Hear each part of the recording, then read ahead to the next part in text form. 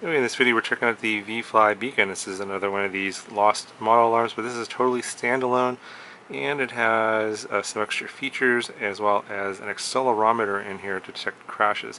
So this is designed to be used uh, standalone on like a DJI drone or something like that that doesn't have a flight controller to connect it to like the other previous ViFLY lost model alarms.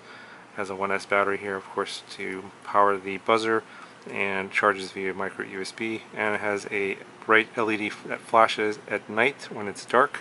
I'll show you how that works and it has one button operation. You want to stick this to your drone with the included sticky pad and zip tie and they, you can secure it to like an arm or somewhere on the body. Uh, should be pretty easy to establish. And then uh, there's a few modes that you want to be aware of here. And actually, I'm going to talk about them first because this, uh, if I while I'm demonstrating this, it will be very loud. So, okay, so to basically turn it on or activate it, you want to hold the button down for two to five seconds, and I will turn it on. You'll hear two quiet beeps, and then an LED will flash. And to turn off, you also do the same thing and then you hear three quiet beeps. So when it's on and if your drone crashes, it'll go into this alarm status and the accelerometer will detect that crash and then it will beep, uh, sort of a quiet beep every three seconds.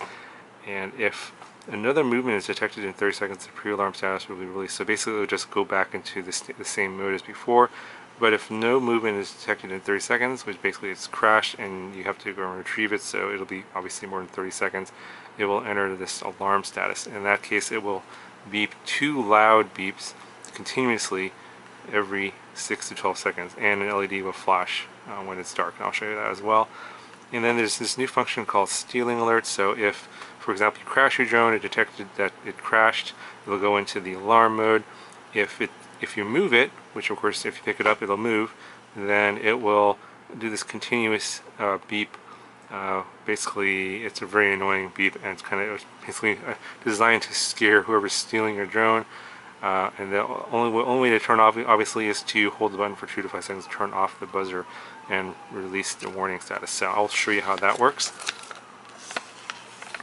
Also, there's a an adjustment to change the sensitivity setting of the accelerometer uh, I found that the, the, the, basic setting seems to work fine. I think that if you're on a certain certain drones that are doing a lot of um, quick maneuvers or a lot of high g-forces, it may trigger the alarm without a crash, so you may want to adjust it with the instructions here on how to adjust the settings, but I found that the standard settings seem to be fine. Also, when the battery is low, the buzzer will beep two low sounds every one second. So it'll basically tell you, it'll tell you that you need to plug in the micro USB cable and charge up the um, battery, and then the LED light will be off when it's fully charged. Another thing to be aware of is that the alarm status will be activated in three cases. Quad is crashed. That's the first case, the most obvious case. The quad is static or just staying still for more than five minutes and the flight time is over 40 minutes. I'm, I guess they're assuming that if your flight's over 40 minutes, if the buzzer has been on for more than 40 minutes, it will go ahead and go into alarm status, which means that it, it assumes that it's been crashed. Okay, let's go ahead and turn this on. We'll hold the button down between 2 and 5 seconds. Okay, so they got the, the flashing light and the two beeps. So now we're in that pre-alarm status. And it will do these two sort of quiet beeps like that pretty much the whole time, even when you're flying around. And then let's let's, let's sort of uh, demonstrate a crash. So basically, you slam it down like this. That will indicate it's crashed, and it'll go into basically um, basically a pre-alarm status where uh, it basically detects that it's been crashed. And if you don't touch this within 30 seconds, it will go into the alarm mode. So we'll uh, wait in here, and and you'll get a very loud set of beeps once it goes into that mode so you can find this thing after it's crashed.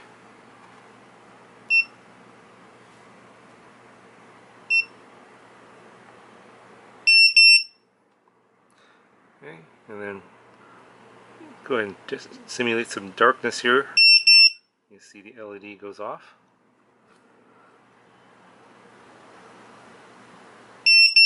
And this buzzer is very loud, it's about 105 decibels. You should be able to hear it from pretty far away.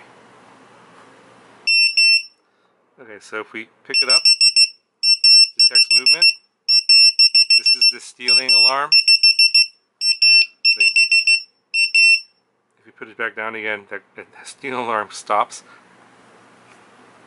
So in order to turn off turn off the buzzer, you have to hold the button down for about five seconds, and it should give you three beeps at the very end indicating that's actually off. There we go.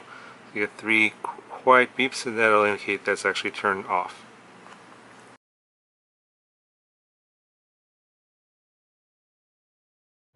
Okay, so I'm here at the park and I'm going to do a quick little field test for the buzzer. I'm going to turn it on, activate the alarm, and then I'm going to toss it over here out into the grass and see if I can find it just by the noise, by the buzzer sound. So I guess um, if it's not loud enough, I won't be able to find it, so we'll, I guess we'll see what happens. Alright, so go ahead and turn it on. And we'll activate the crash. So there's a lot of ambient noise here with uh, cars on the street over here, so Okay, so there's the alarm. Pretty loud, actually. And there's the uh, stealing mode. Go, I'm gonna go ahead and toss it.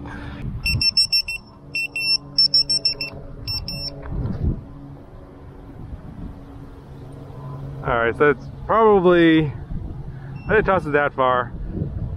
It's like 20 feet away. Probably need to put it on a ball or something with more mass. I can still hear it from here.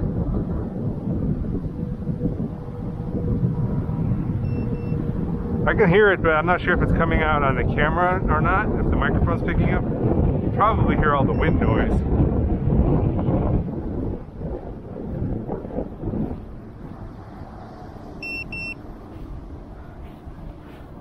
And thing's tiny, I can hear it's right over here. Okay, here it is.